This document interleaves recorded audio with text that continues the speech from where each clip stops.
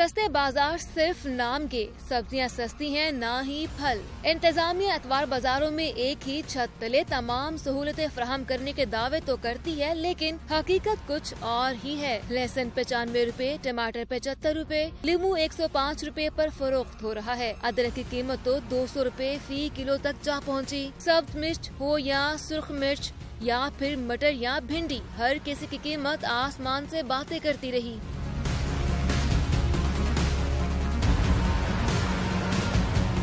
शहरी कहते हैं सस्ती चीज़ें तो दूर की बात मयारी मिल जाए तो वो भी गनीमत है। जो क्वालिटी लिखी रेट लिखा जाता है उसके मुताबिक चीज़ नहीं होती। उसकी चीज़ की क्वालिटी नहीं होती। उसमें रस चौरा होता है कीमत वही लिखी है वही ले रहे हैं लेकिन वो उनकी क्वालिटी नहीं वो होती। अदरक बाज़ार पंजा इतने बाज़ार पंजा पा।